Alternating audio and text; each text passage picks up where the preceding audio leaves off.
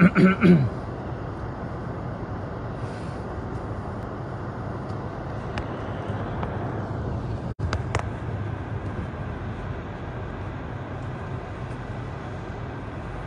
សូមបាទជំរាបសួរដល់បងប្អូនទាំងអស់គ្នាជាទីគោរពនិងជាទីស្រឡាញ់ខ្ញុំបាទលោកគ្រូជឹមសំអល់ជំរួមជាមួយបងប្រុសបាទជាសិស្សបរិញ្ញាបត្រនៅក្នុងសាលាបង្រៀនបាក់បោដៃខ្មែរ បាទដែលស្ថិតនៅទីតាំងនៅតាមបណ្ដោយផ្លូវ271ម្ដុំសា10ទៅបាទសា10ទៅលើផ្លូវ271នឹងបងប្អូនបើជួយមកពីពេរស៊ីមកនៅស្ដាំដៃសំដៅមកស្តុបសា10ទៅណាហើយបើចេញពីស្តុបសា10ទៅសំដៅមកពេរស៊ីនៅឆ្វេងដៃវិញចិត្តជាងតិចបាទចិត្តបាទអាចជា150ម៉ែត្រអញ្ចឹងក៏ធ្វើការ live បង្ហាញពីរំលឹកការបើកបរជាមួយបងប្រុសតែគាត់ជាបើកបរហើយហើយ ដោយសារតែអត់មានភាពជឿជាក់លើខ្លួនឯងនៅភ័យបងបាទបាទនៅភ័យភ័យខ្លះបាទអញ្ចឹងនៅមានការភ័យខ្លាចគាត់មិនមានភាពជឿជាក់ច្បាស់លាស់ក្នុងការបើកបរដោយខ្លួនឯងគាត់ក៏មករំលឹកអឺបានន័យថាមករំលឹកអឺចំណេះដឹងជំនាញក្នុងការបើកបរនេះឡើងវិញដើម្បីឲ្យមានភាពជឿជាក់លើខ្លួនឯងថាអាចបើកបរខ្លួនឯងបានដោយមិនមានការភ័យខ្លាចអញ្ចឹងក៏គាត់ជំរឿគឺមក ជ្រើសរើសនឹងចុះឈ្មោះរៀនបើកបរសាឡើងវិញមកនិយាយចឹងទៅរៀនសាឡើងវិញដើម្បីឲ្យកាន់តែច្បាស់ហើយមានភាពជឿជាក់ថាចេញទៅវិញបើកបរបានបើកបរបានដោយខ្លួនឯងអញ្ចឹងខ្ញុំក៏នឹងបង្ហាញជូនពីបច្ចេកទេសនេះក៏ដោយការរៀនបើកបរនេះជូនដល់បងប្រុសឲ្យបងប្រុសមានសមត្ថភាពបើកបរបាននៅពេលដែលចាក់ចេញពីដៃខ្ញុំទៅវិញបាទណាហើយបងលែងមានការភ័យខ្លាចយ៉ាងទៀតដែរ បងជួយដែរបងបាទជានបាទបងលឿនបាទណាបាទបានលឿនបាទអញ្ចឹងអរគុណបងដែលបានគ្រប់គ្រងនិងជឿជាក់លើសេវាកម្មនៃការរៀនបើកបរនៅក្នុងសាលារៀនបើកបរដៃខ្មែរយើងណាអញ្ចឹងខ្ញុំនឹងចាប់ផ្ដើមរំលឹកបងឡើងវិញបាទណាសម្រាប់សូមចេះមួយទៀតមុននឹងចាប់ផ្ដើមបើសិនជាបងប្អូនចេះបើកបរហើយរៀនបើកបរហើយទុកចោលបោះបង់ទុកចោលយូរដែលមិនហ៊ានបើកបរដោយខ្លួនឯងហើយមានបានបើកបរហើយ អញ្ចឹងបងប្អូនត្រូវតែចំណាយពេលវេលាណាមួយសមស្របដែលបងប្អូនទំនេរមករៀនបើកបរឡើងវិញមកហើយកុំយកបានបើកបរទៅទុកកាលណាយើងយកបានបើកបរទៅទុកខំរៀនអស់លុយមកកកូកហើយយកបានបើកបរទៅទុកអត់ហ៊ានបើកបរខ្លួនឯងចិត្តទុកចោលទុកចោលទុកចោលថ្ងៃក្រោយយើងត្រូវការទិញឡានឬក៏មានឡានហើយចង់បើកបរខ្លួនឯងអត់ហ៊ានបើកទេអញ្ចឹងបងប្អូនអាចនឹងមកជួបជាមួយខ្ញុំបានលោកគ្រូចិនសរនៅក្នុងសាលាបង្រៀនបើកបរដៃខ្មែរមក ដៃខ្មែរអាចជួយបងប្អូនឲ្យចេះបើកបរឡើងវិញបានរំលឹកនិងសារឡើងវិញផ្ដល់ចំណេះដឹងជំនាញបច្ចេកទេសបើកបរនេះឡើងវិញឲ្យបងប្អូនបានឲ្យមានភាពជឿជាក់និងសមត្ថភាពបើកបរខ្លួនឯងបានឡើងវិញបាទបាទហើយមកអត់ខកចិត្តទេអត់ខកចិត្តទេយើងនឹងផ្ដល់ជូនសម្រាប់បងប្អូនដែលចេះបើកបរស្រាប់ហើយបោះបង់ចោលទុកយូរណាហើយឬក៏អ្នកដែលមិនទាន់ចេះហ្នឹងក៏ត្រូវតែចង់ចេះបើកបរចង់រៀនបើកបរតនឱកាសពេលវេលាល្អសមស្របណាមួយសម្រាប់ ពេលវេលានេះគឺជាពេលវេលាដែលត្រូវតែបងប្អូនចេះបើកបរហើយព្រោះយើងកំពុងតែមានកំណើននៃយានយន្តសេដ្ឋកិច្ចមានការលូតលាស់ហើយក៏ធ្វើឲ្យកំណើនយានយន្តផ្លូវក៏ស្អាតអញ្ចឹងធ្វើដំណើរផ្លូវចិត្តផ្លូវឆ្ងាយយើងត្រូវការបើកបរឡានហើយបាទបើកបរឡានហើយអញ្ចឹងកាលណាយើងចេះបើកបរហើយអឺយើងងាយស្រួលក្នុងការធ្វើដំណើរណាកាលណាយើងជិះឡានយើងស្រួលយើងមានអឺយើងនិយាយចំទៅយើងទទួលបាននូវសុវត្ថិភាពទទួលបាននូវអា ការពារនៅកម្ដៅពន្លឺថ្ងៃខ្យល់កោរន្ទះឲ្យបានទាំងអស់បាទបានទាំងអស់ហើយយើងមានសេចក្តីសុខពេលធ្វើដំណើរតាមឡានជាងយើងធ្វើដំណើរតាមម៉ូតូមែនទេបងផ្លូវឆ្ងាយបើយើងចិត្តចិត្តយើងជិះម៉ូតូស្រួលប៉ុន្តែបើទៅឆ្ងាយឆ្ងាយតើតែហើយបងបងគាត់ត្រៀមត្រៀមឡាននេះតែញ៉ៃនៅបងនៅនៅបាទត្រៀមបាទហ្នឹងហើយពងដើរមើលនេះគាត់គាត់ nói ថាកាលណាជិះមករៀនឡានគឺមានបំណងចង់ទិញឡានហើយអ្នកដែលរៀនឡានហើយគឺមានគោលដៅមួយថា ថ្ងៃណាមួយមិនទាន់មានលុយឥឡូវក៏ដោយថ្ងៃណាមួយគាត់នឹងមានលុយទិញឡានគាត់នឹងជិះឡានលែងជិះម៉ូតូព្រោះសួរទៅលេងស្រុកហើយឬក៏ត្រូវដើរលេងខែមន់សន្តិដៅជុំបុនទៀនអីហ្នឹងយើងស្រួលព្រោះដំណើរមានឡានគឺជើងវែងមានឡានជើងវែងខែភ្លៀងបាទបាទមានឡានជើងវែងហើយបាទជើងវែងមកដូចថាទៅឆ្ងាយទៅឆ្ងាយឆ្ងាយទៅឆ្ងាយឆ្ងាយបងណាបាទបាទអរគុណដល់បងហើយអញ្ចឹងខ្ញុំជម្រាបបងពីខាងដើមមិញអញ្ចឹងថា សម្រាប់អ្នករៀនបើកបរវាមានគោលគោលគោលមិនតាន់ជាបើកបរហើយអរៀនបើកបរនេះគឺត្រូវចាំគោលគោលការណ៍5ចំណុចសំខាន់សម្រាប់អអ្នករៀនបើកបរណាទី1គឺបងត្រូវយល់ពីអារបៀបកាយវិការនៃការដើរចូលឡានបំរុងនឹងចូលឡានឲ្យដឹងអាឡានយើងទៅទៅមុខទៅក្រោយមានអីនៅក្បែរឡានរបស់យើងអឺហើយអឺជៀសវាងការដែលយើងមានបញ្ហាកើតឡើងណាបងបាទ ជាពិសេសយើងត្រូវមើលទម្រង់ឡានយើងដែលត្រូវទៅមុខឬក៏ថយក្រោយមានគេចន់នៅពីមុខពីក្រោយទៀតឬក៏នៅឆ្ងាយឬក៏យើងត្រូវយកចង្កូតទៅណាទៅថយទៅណាយល់ទេបងណាបាទអាគេហៅថាមើលទម្រង់អេរយាប័តឡានដែលយើងត្រូវចេញដំណើរទី2ពេលដែលបងចូលមកដល់ក្នុងឡានហើយពេលដែលចូលមកដល់ក្នុងឡានហើយគឺគោលការណ៍រំលឹកនឹងការរៀនបើកបរឡើងវិញគឺចំណុចសំខាន់គឺបងអ្នកកាន់ចង្កូតឡានបើកបរអញ្ចឹងគឺបងត្រូវចេះរៀបចំអេរយាប័តនៃការអង្គុយឲ្យបានត្រឹមត្រូវយល់ បានន័យថាកៅអីយើងកំដាក់ទៅមុខពេកឬក៏កំដាក់មកក្រោយពេកយើងវាស់ទៅតាមជើងដៃរបស់យើងដែលងាយស្រួលនឹងការកាន់ចង្កូតងាយស្រួលនឹងការជន់ប្រាំងជន់ហ្គាឲ្យសមល្មមទៅតាមជើងដៃរបស់យើងយល់យល់បើបងដាក់គៀកពេកវាវាពិបាកអញ្ជន់វាគៀកវាគៀកនឹងការលោឡានពេកគៀកនឹងចង្កូតពេកបើបងដាក់ឆ្ងាយពេកជើងបងខ្លីដៃខ្លីប្រផឹកប្រភិញយើងមើលទៅមុខអត់បានច្បាស់លាស់ល្អយល់ឬក៏មើលឆ្វេងមើលស្ដាំពិបាកនឹងការមើល បាទអញ្ចឹងយើងអឺត្រូវតែរៀបចំកែសម្រួលកន្លែងអង្គុយឲ្យបានត្រឹមត្រូវដែលយើងគិតថាជន់ទៅវាល្មមសមរម្យដៃជិះកាន់ចង្កូតស្រួលបួលមើលឆ្វេងមើលស្ដាំមើលមុខមើលក្រោយអីច្បាស់លាស់ល្អហើយបានយើងអាចនឹងតាក់ខ្សែក្រវ៉ាត់បានយើងចាប់ផ្ដើមបញ្ឆេះម៉ាស៊ីនយល់បាទពេលណាដែលយើងបញ្ឆេះម៉ាស៊ីនហើយឡានដំណើរការម៉ាស៊ីនហើយយើងត្រូវចេញដំណើរមែនទេបងបាទបាទពេលដែលយើងចេញដំណើរបងអ្នកបើកបរនិងអ្នករៀនបើកបរហ្នឹងបាទជំរាបសួរបាទបាទជំរាបសួរសុខសប្បាយបាទណា អឺជំហានទី3គឺអឺបងត្រូវស្គាល់ពីប្រព័ន្ធប្រាំងនិងហ្គាឲ្យបានច្បាស់ព្រោះចំពោះឡានលេខអូតូយើងប្រើតែជើងមួយទេជើងឆ្វេងត្រូវបានទំនេរហើយឈ្នាន់ដែលបងជន់មានប៉ុន្មានពីរមានពីរឈ្នាន់ប្រាំងនិងឈ្នាន់ហ្គាឈ្នាន់ប្រាំងអត់ធំជាងគេឈ្នាន់ហ្គាគៀនគេខាងស្ដាំបំផុតនេះណាបាទអញ្ចឹងជំហានទី3គឺអ្នករៀនបើកបរនិងអ្នកបើកបរឬក៏រំលឹកអាការរៀនបើកការបើកបរនឹងឡើងវិញគឺត្រូវជំហានទី3គឺត្រូវស្គាល់ពីប្រព័ន្ធប្រាំងហ្គាឲ្យបានច្បាស់ហើយ បើសិនជាលេខដៃត្រូវស្គាល់ពីប្រព័ន្ធអង្គប្រយាមួយទៀតប៉ុន្តែបើចំពោះអូតូយើងស្គាល់តែពីប្រព័ន្ធប្រាំងនិងហ្គាឲ្យបានច្បាស់ប្រាំងនៅកន្លែងណាហ្គានៅកន្លែងណាប្រាំងសម្រាប់អីហ្គាសម្រាប់អីយល់បងណាបាទហ្នឹងហើយជំហានទី3និងជំហានទី4គឺអ្នកបើកបរឬក៏រំលឹកនៃការរៀនបើកបរនិងបើកបរឡើងវិញបងត្រូវស្គាល់ពីប្រព័ន្ធចង្កូតបើចង្កូតយើងត្រូវដៃកាន់ចង្កូតរបៀបម៉េច ហើយចង្កូតឡានយើងដឹងពីតួនាទីរបស់វាថាសម្រាប់ទៅណាសម្រាប់កាច់បត់ឆ្វេងបត់ស្ដាំនាំទិសដៅរបស់យើងដែលយើងចង់ទៅឆ្វេងឬក៏ទៅស្ដាំឬក៏ទៅមុខឬក៏ទៅក្រោយទៅលើរួចទេអត់ទេអត់រួចទេបាទទៅលើអត់រួចទេអញ្ចឹងយើងត្រូវស្គាល់ពីប្រព័ន្ធចង្កូតបាទប្រព័ន្ធចង្កូតហ្នឹងគឺមានន័យថាយើងបញ្ជាចង្កូតហ្នឹងវាបញ្ជាកង់នឹងក្បាលឡានទៅណាកង់រត់ទៅណាងាកចង្កូតងាកទៅណាកង់ឡានវារត់ទៅនោះទៅខាងនោះដែរ បាទអញ្ចឹងយើងត្រូវពោស្គាល់ពីប្រព័ន្ធចង្កូតហើយចង្កូតហ្នឹងយើងត្រូវដឹងពីជុំរបស់វាយល់បងណាបាទនេះខ្ញុំនិយាយពីគោលការណ៍សំខាន់5ចំណុចដែលអ្នករៀនបើកបរនិងអ្នកផ្លិចបោះបង់ចោលទុកយូរហើយរំលឹកការបើកបរឡើងវិញយល់បាទបាទហ្នឹងហើយប្រព័ន្ធចង្កូតអញ្ចឹងយើងត្រូវចាំពីជុំចង្កូត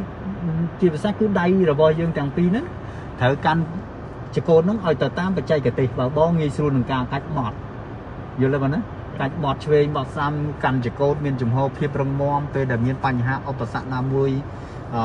កើតឡើងពីមុខនៅពីមុខមានបញ្ហាណាមួយយើងអាចនឹងមានឱកាសឬក៏មានចំហមានកម្លាំងបលាំងในការទប់ចង្កូតកាន់ចង្កូតពេចជាតាន់ពេលយល់បងបាទបាទតាន់ពេលនេះជំហានទី4និងជំហានទី5ទី5ចំណុចចុងក្រោយនៃជំហានទី5ដែលអ្នកអឺទី5ដែលអ្នករៀនបើកបរឬក៏អ្នកដែលចេះបើកបរហើយរំលឹកនឹងការរៀនបើកបរឡើងវិញ ត្រូវយល់ពីប្រព័ន្ធចង្កឹះលេខលេខយល់ពីតួនាទីលេខលេខអឺឡានគឺមានប្រមាណលេខប្រមាណខ្ទង់ប្រមាណលេខហើយលេខនីមួយៗមានតួនាទីអីខ្លះដែលយើងត្រូវប្រើវាយល់បងណាបាទលេខណាទៅមុខលេខណាសម្រាប់ចតលេខណាសម្រាប់ឈប់លេខណាសម្រាប់ថយក្រោយលេខណាសម្រាប់ឡើងចំណត់លេខណាសម្រាប់ឡើងទួលលេខណាសម្រាប់ជាប់ផុំជាប់ផុកជាប់ភួចជាប់ខ្សាច់អីយើងត្រូវយល់ទួទូនាទីដែលយើងត្រូវប្រើនៅប្រព័ន្ធចង្កឹះលេខបាទណាចង្កឹះលេខណា អញ្ចឹងគឺសំខាន់ណាស់5ចំណុចនិយាយរួមគឺ5ចំណុចនេះដែលបងត្រូវរំលឹកនឹងឡើងវិញយល់បាទបាទអូខេទី1កាយវិការរបៀបការដើរចូលឡានមើលទម្រង់អេរយាប័តទី2ចូលមកដល់ក្នុងរៀបចំរៀបចំកន្លែងអង្គុយឲ្យបានត្រឹមត្រូវមើលឆ្វេងមើលស្ដាំមើលមុខឲ្យបានអត់នោះទី3ប្រព័ន្ធពាន់ប្រាំងប្រាំងនឹង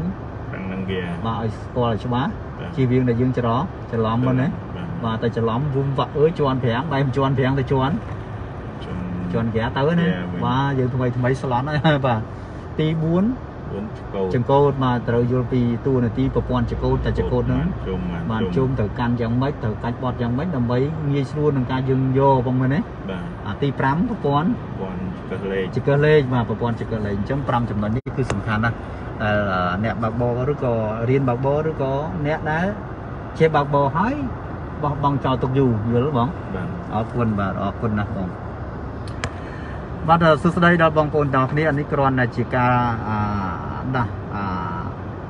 មេរៀនឡើងវិញសម្រាប់បងអូខេអញ្ចឹងបងយកខ្សែវ៉ាន់ពាក់មក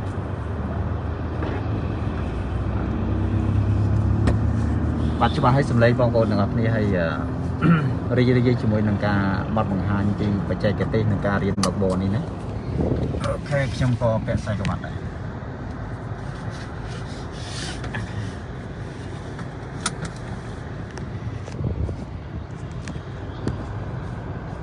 ញ្ញុយឆ្វេងមកបាត់វិញស្ដាំលឿនតិចបាត់វិញឆ្វេងបាត់បាត់វិញមកកាច់ចកូតបាត់ឆ្វេងអស់ឆ្វេងមកយកអស់មួយពីរកុំកាច់ខ្លាំងពេកលាវិញឲ្យត្រង់ពីរដងមួយពីរមើលទៅមុខពេលបើកបោយើងអត់មើលចកូតទេកាលណាដែលយើងកាច់ចកូត យកចកូតឡើងតែអោនមើលអត់មានពេលវេលាមើលមុខឡានទេយល់ទេណាបាទអញ្ចឹងយើងធ្វើការពេលដែលយើងកាច់បត់ចកូតហ្នឹងគឺធ្វើការជុំដល់ពីដែលយើងត្រូវយកឆ្វេងមានជុំកន្លះស្ដាំមានជុំកន្លះចកូតឡានវាមានតែជុំកន្លះពេលកាច់មកជុំវារត់ទៅមុនបានកន្លះទៅតាមក្រោយបានវាអស់ប៉ុន្តែកុំកាច់គប់ខ្លាំងអាំងទៀតណាមិញអាកាច់ខ្លាំងពេកអត់បានទេយល់ទេបងណាតោះប៊ូមឆ្វេងអស់យល់ទេឆ្វេងបាទមួយជុំកន្លះទៀតអស់លាមកវិញឲ្យត្រង់មួយមើលទៅមកគូហើយត្រូវ យកចំណុចគោលគឺត្រង់កាច់មកស្ដាំមកអស់ហ្មងទៅវិញឲ្យត្រង់យល់ពាក្យថាត្រង់មួយពីរខ្ញុំប្រាប់ចំណុចមួយសំខាន់សម្រាប់បងប្អូនដែលបាទខ្ញុំប្រាប់ចំណុចសំខាន់មួយដែលបងប្អូនដែលមិនយល់ពីចកូតឡានត្រង់កង់កង់ឡានពេលចូលចតឡានឈប់ឡានណាបាទត្រង់ឬមិនត្រង់សងចំអ្នកខ្លះគាត់ចុចកញ្ចក់អោនមើលចេញលៀនក្បាលចេញដល់ក្រៅមើលកង់ឡាន យល់ទេបងណាបាទក៏អត់ច្បាស់ហ៎អត់ដឹងថាកង់ឡានត្រង់មិនត្រង់អញ្ចឹងសម្រាប់ចេះបើកបរហើយឬក៏សម្រាប់ចូលចតឡានកុំកុំកុំចុចកញ្ចក់អ่าចេញលៀនក្បាលចេញទៅក្រៅមើលជីមើលកង់ឡានបងត្រូវច្បាស់ខ្លួនឯងថាពេលដែលបងឈប់ចតចំកង់ឡានត្រង់អត់ណាអញ្ចឹងបងត្រូវសង្ស័យសង្ស័យហ៎ដឹងថាមិញត្រង់មិនត្រង់សង្ស័យអញ្ចឹងបងបួងទៅណាក៏ដោយបងត្រូវចាំណាបាទបួងបាត់ទៅឆ្វេងក៏ដោយបួងចង្កូតបាត់មកស្នាមក៏ដោយបងបួងឲ្យអស់ហើយលាវិញតែពីរដងត្រង់ហើយបានន័យថា ចង្កូតឡានពេលកាច់បត់មកជុំវារត់ទៅមុនបានកន្លះទៅតាមក្រោយយល់ទេបាទដល់លាមកវិញកន្លះមុនបានមកជុំមកតាមក្រោយបានគ្រប់បានន័យថាវាមានមកជុំកន្លះទេយល់តោះបត់ឆ្វេងឲ្យអស់មើលអបនេះមកជុំយល់កន្លះទៀតអស់នេះអស់ហើយបងបាទអស់យកលេងទៅលាវិញពីរដងមកមួយពីរត្រង់អត់ចាំបាច់អោនលៀនក្បាលចេញទៅក្រៅមើលកង់ឡានទេយល់ទេណាយល់បងបួងទៅស្រាមក៏ដោយបួងឆ្វេងក៏ដោយបួងអស់លាវិញតែពីរដងត្រង់ហើយ បានន័យថាមកជុំកន្លះណាបាទមកជុំរាប់មួយកន្លះរាប់មួយកន្លះរាប់មួយមកជុំរាប់មួយសាបានបត់ស្នាមអស់លាទៅវិញទៅត្រង់ហ្នឹងហើយយល់ទេមើលទៅមុខបត់ឆ្វេងអស់មើលទៅមុខបងមកជុំលាវិញទៅត្រង់មើលទៅមុខហ្នឹងហើយបត់ស្នាមលឿនលឿនឲ្យស្មើដៃលាទៅវិញបាទយកអញ្ចឹងបាទបាទខ្វែងដៃលុញដៃយ៉ាងចេះលុញទេបាទលុញអញ្ចឹងល្អបាទបត់ឆ្វេងឲ្យអស់ហ្មង លាវិញទៅត្រង់ក៏មើលវាកុំទម្លាប់មើលចកោតបាទកុំឲ្យលើសយកមកជុំកន្លះបងលាវិញមកជុំកន្លះត្រង់ហើយកាលណាយកមកជុំកន្លះលាវិញលើសពីមកជុំកន្លះគឺវាចេះឲ្យវាជ្រុលណាអញ្ចឹងយកមកជុំកន្លះបងលាវិញមកជុំកន្លះមកត្រង់ហើយយកមកជុំបងលាមកជុំត្រង់ហើយយល់ទេយកកន្លះលាកន្លះបងចង្កូតឡានបងកាច់បត់ងាកយកប្រប៉ុណ្ណាបងត្រូវឲ្យគេមកវិញប្រប៉ុណ្ណឹងមកត្រូវបានណាសងគេប្រប៉ុណ្ណឹងមកយល់បាត់ស្នាមអស់អស់មិនបានជុំហ្មងមើលទៅមុខ ជុំកន្លះនេះលាវិញជុំកន្លះត្រង់ហើយហ្នឹងហើយយល់ឆ្វេងអស់បាទសួស្តីបាទបងប្អូនទាំងអស់គ្នាបាទសុខសប្បាយអីស្មារតីបាទលាត្រង់បាទយល់ពីត្រង់បាត់ស្នាមអស់ខ្ញុំបរៀនបងឲ្យច្បាស់ហ្មងចេញទៅវិញលេងខ្លាចណាលេងភ័យអត់ឲ្យមានសាលា3 4ទៀតទេចប់ពីសាលាដៃខ្មែរហ្នឹងគេបើកបរបានបាត់ឆ្វេងអស់លាទៅឲ្យត្រង់ហ្នឹងហើយបាត់ស្ដាំអស់ លាទៅវិញអាត្រង់ហ្នឹងហើយច្បាស់នៅកុំឲ្យលើសបងបាទជួយចិត្តរកកលឹះភ័យទេបងគេអារម្មណ៍ភ័យហ៎អត់អីចឹងអត់អីហ៎បាទយើងធ្លាប់ដឹងខ្លះយើងធ្លាប់បើកបរខ្លះហើយអញ្ចឹងគាត់ណារំលឹកឡើងវិញទៅវាច្បាស់មែនទេបងណាបាទបាត់ស្រាំអស់មកអញ្ចឹងមើលទៅមុខស្គាល់ស្ដាំស្គាល់ឆ្វេងទៅវិញសងគេត្រង់មើលទៅមុខបងកុំមើលវាកុំឲ្យលើសណាបាត់ឆ្វេងអស់ លាមកវិញមកហ្នឹងហើយយកមកជុំកន្លះលាមកជុំកន្លះយកមកជុំលាមកជុំយកកន្លះលាគេកន្លះយកកាច់បត់គេប៉ុណ្ណាទៅវិញទៅវិញប៉ុណ្ណឹងសងគេប៉ុណ្ណូនណាបងណាបងឯងខ្ចីគេ100សងគេប៉ុន្មានសងគេ110សង110លើហើយលើណាបងប្អូនទាំងអស់គ្នាអរគុណដែលបានចូលរួមមើលការ live នៅក្នុងការបត់បង្ហាញពីរៀនបើកបរ បាទសំខាន់ណាការបើកបរតើតែយើងយល់ដឹងអំពីបច្ចេកទេសជំនាញច្បាស់លាស់ទើបអាចបើកបរទៅប្រកបដោយមានសុវត្ថិភាពល្អមានភាពជឿជាក់ខ្លួនឯងល្អហើយងាយបាទយើងអត់មានការអាភ័ន្តច្រឡំភ័យខ្លាចនឹងការដែលយើងអាច្រឡំជ្រុលជ្រោះវាក់វិនអីអត់ទេបាទព្រោះការបច្ចេកទេសការបើកបរនេះគឺសំខាន់ណា បាទបច្ចេកទេសបើកបរនេះមិនមែនជាការលេងសើចបានទេហើយក៏មិនមែនមករៀនទាញយកភ្លាមភ្លាមមកចេះភ្លាមភ្លាមអត់ទេត្រូវការពេលវេលាជាបច្ចេកទេសត្រូវការពេលវេលាឲ្យបានកាន់តែច្រើន ចំណេះដឹងនិងការយល់ដឹងកាន់តែខ្ពស់និងមានបទពិសោធន៍កាន់តែច្រើនបាទហ្នឹងកាន់តែច្រើនអូខេជាន់5បងហើបជាន់ហើបគងជាខកគងឯណាប៉ះដឹងឯងដឹងជើងដាក់ពីលើគងពីលើយ៉ាប្រាំងដឹងឯងដឹងចេញក៏ដឹង ចូលក៏ដឹងគងប្រាំងគងជាគងប្រាំងជាន់ប្រាំងមើលហើបអាឆ្នន់ធំហ្នឹងគេហៅអីគេបងទាំងសម្រាប់អីប្រាំងហ្នឹងងាប់បន្ថយលបឿនឬក៏ឈប់អូខេហ្គាសម្រាប់អីបងដាក់ជើងគងហ្គាមើលបង្កើនលបឿនបន្ថែមតាមលបឿនជាន់ខ្លាំងបុកគេអត់បោកអាចនឹងបុកគេចុះប្រាំងជាន់ខ្លាំងឡានជុំងអត់អីឈប់ងក់គេបុកយើងអត់គេបុកទូតអញ្ចឹងក៏រាល់ការដែលជាន់ទាំងឆ្នន់ប្រាំងនិងឆ្នន់ហ្គាជើងបងត្រូវការអីជាន់ស្រាលមែនទេចន្ទស្រាជាន់ខ្លាំងបានទេ អត់បានអត់បានទេប៉ុន្តែដកជើងលឿនបានអត់បានបានអូខេគងប្រាំងគងហ្គាគងប្រាំងជាន់ប្រាំងមើលហើបវិញជាន់ប្រាំងហើបមិនអាំងមៀតទេណាគីឡូបានបង95ម៉ែ95គីឡូបាទ95អញ្ចឹងជាន់5ជាន់ហ្គាអត់មានត្រូវប្រើទម្ងន់គីឡូ95បានទេណាយល់បងបាទបាទជាន់ស្រាលជើងបំផុតទាំងឈ្នួនប្រាំងទាំងឈ្នួនហ្គាបងត្រូវចងចាំថាប្រាំងសម្រាប់ឲ្យជាន់ឡានឈប់ទាន់ តែជាន់ខ្លាំងឡានឈុំក៏អយគេបុកយើងហ្នឹងណាគ្រូជួយអត់ទាន់ទេនៅក្នុងឡានដូចគ្នាអូផ្នែកសយើងខ្លួនហើយយល់ហ្គាសម្រាប់បកការលបឿនដែលយើងស្លន់ជាន់ហ្គាខ្លាំងអាចនឹងប៉ះគេដូចគ្នាអញ្ចឹងទាំងប្រាំងទាំងហ្គាត្រូវការស្រាលជើងណាហើយត្រូវការឲ្យច្បាស់ណាគងប្រាំងមើលគងហ្គាគងប្រាំងគងហ្គាគងប្រាំងគងហ្គាគងប្រាំងជាន់ប្រាំងមើលហើបវិញមើលជាន់ទាំងមើលហើបយកដោះស្បែកជើងទៅជើងប្រាប់ពេក បាទអឺអ្នកមករៀនឡានអ្នកខ្លះគាត់ចូលចិត្តដោះស្បែកជើងខ្ញុំដោះស្បែកជើង3ឆ្នាំតែចេះឡើងដំបូងណាពាក់ស្បែកជើងជាន់អត់ដឹងគាត់អត់ឲ្យពេលដោះស្បែកជើងដាក់ជាន់ប្រាំងជាន់ហ្គាស្រួលហ្មងស្រួលណាបាទស្រួលណាបីជើងនេះវាប្រាប់ពេកខ្ញុំអូខេហ្នឹងហើយបងបាទអត់ទេដោះស្បែកជើងស្រួលអត់តែចេះមែនទេបងអ្នកខ្លះពាក់បែកជើងគឺ បើរៀនបើកបរឬក៏អ្នកបើកបរគេអត់ឲ្យពាក់បែកជើងសក់អញ្ចឹងទេបងតែមានកបាត់កែងឬក៏ដាក់អបែកជើងប៉ាតាឬក៏បែកជើងមូអញ្ចឹងណាបងណាបាទហើយអកាលណាយើងជន់បែកជើងផ្ទាត់ពាក់បែកជើងផ្ទាត់មករៀនឬក៏បើបើកបរខ្លាចយើងជន់ទៅខ្លាច់កន្លះជើងជន់ប្រាំងទៅបុកពេលមានបងប្រុសម្នាក់គាត់ថាគាត់អឺមានបញ្ហាដោយសារគាត់តែជន់ទៅជ្រុលបុកជាងផ្ទះគេអាកោះស្បែកជើងហ៎បងស្បែកជើងទាត់ណាបាទគាត់ស្លន់ហើយគាត់ប្រាប់ខ្ញុំថ្ងៃមុនប៉ុន្តែ អឺគាត់ថាឥឡូវគាត់ដោះស្បែកជើងដោះស្បែកជើងបាទដោះស្បែកជើងអូជាងឡានបាទជាងឡានបាទជាងអ្នកធ្វើឡានណាជើងបាទគាត់និយាយអញ្ចឹងគាត់និយាយគាត់ថាគាត់អឺគាត់អឺហេតុតែបានដោះស្បែកជើងដោយសារគាត់ច្រឡំអាពាក់បែកជើងហ្នឹងគាត់ច្រឡំស្លន់ទៅបុកជាងផ្ទះគេបាទវាខ្ទាស់អាទិសអាស្បែកជើងហ្នឹងណាបាទអញ្ចឹងស្បែករៀនបើកបរនឹងរៀនបើកបរឬក៏អ្នកបើកបរអត់ត្រូវពាក់បែកជើងផ្ទាត់ទេ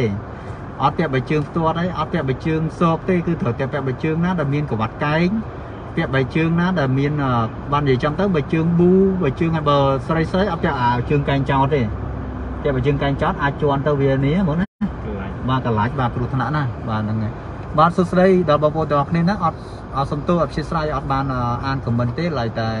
និយាយបដាបយលសិស្សបដាឲ្យគាត់យល់រំលឹកបាទរៀនបើកបរឡើងវិញជាមួយនឹងបងប្រុសដែលគាត់តែជាបើកបរហើយប៉ុន្តែគាត់ថាអត់មានភាពជឿជាក់លើខ្លួនឯងអញ្ចឹងគាត់មកមកយកទាញយកនៅចំណេះដឹងនេះបន្ថែមឲ្យកាន់តែច្បាស់បាទចេញទៅវិញគាត់អាចបើកបរបានដែរព្រោះត្រៀមនឹងទិញឡានផងបាទត្រៀមនឹងទិញឡានផងយល់ទេណាអូខេ ហើយចំពោះឡានលេខអូតូបងតើចង់ចាំរាល់ការដែលបងបញ្ចូលលេខឬក៏ដាក់លេខឡានដែលមិនមានចលនាអញ្ចឹងតើតើជន់ប្រាំងអាចងមិនដាក់លេខចូលពេលដែលបងបញ្ចូលលេខដាក់លេខទៅមុខឬក៏ថយក្រោយពេលឡានដែលមិនមានចលនាមកន័យថាឡាននឹងខ្លួនអត់ទៅមុខទៅក្រោយអញ្ចឹងអត់ឡាននឹងខ្លួនអត់មានចលនាអញ្ចឹងណាបងតើតើជន់ប្រាំងអាចងមិនដាក់លេខចូលបាទចូលណាពេលដែលបងបញ្ចូលលេខហើយដាក់លេខហើយបងចង់ឲ្យឡានទៅមុខឬក៏ថយក្រោយអត់ចាំបាច់ប្រើហ្គាទេ ទីយើងយើងថ្មីថ្មីយើងស្លន់យើងភ្លេចបោះបង់ចោលទុកយូរស្ទើរតែបងដាក់លេខហើយបលែងច្រឡំជើងជន់ក្រាមវទៅក្រោយយល់ទេទៅមុខឬក៏ទៅក្រោយស្លន់ណាបាទយើងអត់ដឹងកម្លាំងម៉ាស៊ីនប៉ុណ្ណាកម្លាំងឡានប៉ុណ្ណាកាលមុនយើងរៀនបើកបរឬក៏យើងបើកបរឡានផ្សេងដល់ពេលឥឡូវឡានគេទំនើបទំនើបខ្លាំងខ្លាំងប្រព័ន្ធបច្ចេកវិទ្យាគេទំនើបប្រើប្រាស់ម៉ាស៊ីនកម្លាំងខ្លាំងអីចឹងទៅយើងជន់ខ្លាំងពេកស្លន់គ្រោះថ្នាក់មកណាបាទអញ្ចឹងបានគេទៀមទីឲ្យយើងយល់អញ្ចឹងបាទយល់ ហើយពេលដែលយើងឡានមានចលនាឡានបងមានចលនាបងចង់ដោះដូរលេខមួយណាក៏បានដែរចង់ដាក់អក្សរ D មកលេខ2ឬក៏ L ក៏បានដែរដែលមិនបាច់ជាន់ប្រាំងឡើយខុសគ្នាអញ្ចឹងណាបើន័យថាពេលឡានមានចលនាអាចដោះដូរលេខណាមួយក៏បានដែរឲ្យលេខ D មកលេខ2លេខ2មកអក្សរ L បានដោយមិនបាច់ជាន់ប្រាំងទេគ្រាន់តែព្រះអង្គលបឿនក៏ទុកប្រាំងតិចតិចក៏បានដែរគ្រាន់តែអត់ចាំបាច់ឈប់ទេ ប៉ុន្តែឡាននឹងខ្លួនអញ្ចឹងពេលដែលបងបញ្ចូលលេខដាក់លេខបងត្រូវតែជាន់ប្រាំងឲ្យជាប់មិនដាក់លេខចូលមិនដាក់លេខចេញស្អាបានណាអូខេតោះជន់តែជាប់បាទច្បាស់ហើយបងប្អូនទាំងអស់គ្នាបាទតោះដាក់លេខពេលដែលជាប់ប្រាំងពេលបញ្ចូលលេខទៅជាប់ប្រាំងឲ្យជាប់ហើយចុចនេះទោះបីបងចុចអាចចកើលេខនេះក៏ដោយបើអត់ជាប់ប្រាំងក៏ដាក់លេខអត់ចូលដែរពេលដែលបងបញ្ចូលលេខពេលជាប់ប្រាំងក៏ដោយតែអត់ចុចអាអាកុងតាក់មក ចកើលេខនេះក៏ដាក់លេខអត់ចូលដែរក៏ទាញអត់មកដែរប៉ុណ្ណាអូខេតោះដាក់លេខយ៉ាងថយញោស្ដាំញោស្ដាំបួនឆ្កូតស្ដាំអស់យើងជប់ពេលដែលយើងបួនឆ្កូតយើងគិតថានៅជុំវិញក្បែរឡានយើងវាទលាអត់មានឡានគេចតក្បែរឡានយើងណាអញ្ចឹងបងអាចយើងយកគូទៅណាយើងយកឆ្កូតទៅហើយទៅដោយសារវាអត់អត់ឲ្យយើងថយទៅកុំឲ្យជ្រុលចូលខ្នល់ជ្រៅពេកណាអូខេតាងាកមើលក្រោយបងងាកមើលស្ដាំដៃប្រហែល5តិចតិច ឈប់សិនឃើញគេមកបងជន់5ចូលហើមកបងបាទចប់តិចទៀតបងចប់ទៀតបងទៀតទៀតបងទៀតឃើញគេមកទុកប្រាំវិញទៀតមើលក្បាលកង់ឡានខាងមុខធ្លាក់ដល់អញ្ចឹងឈប់បងមើលកញ្ចក់ឆ្វេងហ្នឹងហើយអាចទៅបានទេអាចទៅបានលាចគោលត្រង់បាទចុចវាជាប់ពីរដងដាក់លេខទៅមុខវិញមកនេះយើងសញ្ញោទៀតសញ្ញោឆ្វេងមកដូរលេខបង សតឌីបាច់ពុតបាត់ទៅឆ្វេងខ្វល់វិញមើលមុខឡានយើងវាគិតចាំវាអត់ទាន់ផុតពីចាំឆ្ងាយទេយល់ទេបងអូខេបើហៅ5មកឃើញទៅហ៎ទៅមិនភ័យទេនៅមួយខ្ញុំទុក5តិចតិចឡានត្រង់ខ្លួនលេចកលទៀតវាបានវាមកមួយទៀតពីរដងដូរដៃជន់ទាំងឈុតបាទឈប់គឺតំណហៅ5តិចងាកស្ដាំតិចលាវិញមកបាទ ស្ដាប់ខ្ញុំទៅមុខទៀតមកទៅមុខហៅ5កុំជន់ខ្លាំងឲ្យឈប់សិនហៅ5ឈប់សិនដល់លេរយៈថយក្រោយមើលកញ្ចក់ឆ្វេងមើលកញ្ចក់ស្ដាំពេលដែលថយមុននឹងចាប់ផ្ដើមថយក្រោយបងត្រូវមើលកញ្ចក់ឆ្វេងកញ្ចក់ស្ដាំមើលក្រោយច្បាស់លាស់ល្អសិនបានយើងថយក្រោយបានពេលដែលថយក្រោយត្រូវការយឺតលបឿនយឺតជាងដែលយើងទៅមុខណាកាលណាថយក្រោយលឿនយើងមើលឧបសគ្គខាងក្រោយតនេះច្បាស់ហេអត់តទេគេមកជួនកាលខ្លះមក អត់ដឹងឡានយើងថយទេយល់ទេបងមកឈប់ពីក្រោយយើងយើងថយវូបុកគេបាត់យល់អូខេអញ្ចឹងមើលឆ្វេងស្ដាំមើលស្ដាំដើម្បីឲ្យឡានស្រោបមិនចាំនេះឃើញខ្លួនឡានយើងចិញ្ចាំស្រោបទេមើលកញ្ចក់ឆ្វេងមានចរាចរណ៍មកពីក្រោយហ៎មានកង់ម៉ូតូអីមកពីក្រោយហ៎ឡានបាទមានទេបងបាទមើលកនេះអូខេមើលនេះអប5តិចអត់ទៀតបាទជប់សិនបងហ្នឹងហើយឈប់ពីជាន់5ភ្នំអញ្ចឹងណាអូខេប្រហែលជប់បងងាកមើលក្រោយបានទេបងងាកមើលនេះ ការងាកមកក្រោយគឺគេឲ្យយកក្បាលយើងងាកមើលលើស្មាខាងស្ដាំទៅលឹងទៅក្រោយយល់បងណាអានោះបងងាកមើលក្រោយទេបច្ចេកទេសគេឲ្យយកក្បាលយើងងាកមកតាមបណ្ដោយស្មាខាងស្ដាំងាកមកទៅក្រោយអូខេហ្នឹងហើយបើយកល្អមានដៃមួយបោះលើពូកខាងនេះមួយទៀតយល់ទេមែនណាបោះពូកចេះណាស់ណាស់ណាស់ណាស់យល់ហ្នឹងហើយអញ្ចឹងណាបាទអាហ្នឹងបច្ចេកទេសបើមកគេធ្វើអញ្ចឹងអាហ្នឹងបើងាកមកក្រោយណាប៉ុន្តែឥឡូវគេមើលក្រោយគេពឹងលើកញ្ចក់កណ្ដាលឬក៏កញ្ចក់ឆ្វេងស្ដាំអូខេថយបងហាប់ទាំងហាប់ទៀត បានជប់សិនហាប់វិញមើលកញ្ចក់ស្ដាំបណ្ដាស្រងាកស្ដាំពេលថយក្រោយបងចង់ឲ្យគូតឡានយើងងាកទៅណាចកោទៅនឹងដូចគ្នាគូតចូលយកមកស្ដាំគូតចេញយកទៅឆ្វេងត្រង់ដាក់ត្រង់វិញយល់ទេពេលថយក្រោយគូតទៅណាចកោទៅនឹងគូតឡានយើងងាកទៅណាចកោឡានយើងយកទៅនឹងដូចគ្នាដូចយើងទៅមុខចឹងណាចង់បាត់ឆ្វេងបាត់ស្ដាំងាកឆ្វេងងាកស្ដាំងាកទៅណាចកោទៅនឹងដូចគ្នាយល់ទេបងណាអូខេថយក្រោយបងមើលក្រោយថយបងថយទៀតងាកស្ដាំតិចមើលឲ្យចូលបន្តិចមើលគូចូល ងាកចេញវិញឆ្វេងវិញឆ្វេងទៀតថយទៀតញែកឥឡូវអានត្រង់ស្របថយទៀតលាវិញងាកមើលក្រោយមើលនៅឆ្ងាយចិត្តឆ្ងាយហ៎ឆ្ងាយមើលនៅកញ្ចក់ចិត្តទេឈិតអូខេអូខេមើលងាកមើលក្រោយបងហាប់ប្រាំមើលកញ្ចក់ស្ដាំទៀតស្មានកតុយឡានកំលៀតឈប់សិនបាទដល់លេខទៅមុខសតឌីហាប់ប្រាំហាប់តិចមកហាប់ទៀតហាប់ផុតជើងបាទឈប់សិនហាប់វិញកុំចន់ងក់ ឈប់សិនតិចតិចហាប់វិញធ្ងន់គីឡូណាស្រាលតិចទៀតឈប់សិនបាទម៉ូតូបច្រាស់មកអូខេទៅមុខទៀតទៅមួស្វាឡានបងគៀកងាកឆ្វេងតិចលាវិញបងទៅមុខទៀតញាតស្ដាំវិញញាតស្ដាំវិញញាតទៀតឡាមុខទៀតបងផៅប្រាំងទៀតលាវិញឲ្យត្រង់ឈប់សិនអត់ប៉ះទេបងកម្រាលកន្លះម៉ែត្រជាងអត់តែកម្រាលកន្លះម៉ែត្រពីក្បាលឡានយើងផុតហើយយល់ទេបងណាមិនដែរទៅមុខទៀតទៀត បានឈប់សិនអត់សពទៅថាពីពេលឈប់ត្រូវជាប់ប្រាំងមកជាប់បើយើងចង់ដកជើងចេញពីប្រាំងត្រូវដោះលេខរុញជើងលេខទឹកក្នុងអសពទៅសិនអសពពីសិនមិនអាចដកជើងចេញពីឆ្នោតប្រាំងបានតន់អូខេអរគុណដល់បងប្អូនទាំងអស់គ្នាហើយអឺខ្ញុំអឺគ្រាន់តែបង្ហាញពីចំណុចគោលការណ៍នៃការរំលឹករៀនបើកបរឡើងវិញនិងអឺសម្រាប់បងប្រុសដែលអឺគាត់មកអឺអឺ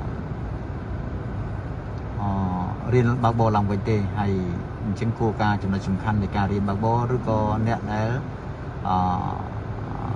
ជាបើកបរស្រាប់ហើយរំលឹកមេរៀនឡើងវិញឲ្យជាបើកបរឡើងវិញនោះគឺបងត្រូវចាំពីគោលការណ៍ចំណុចសំខាន់ទាំង5នេះ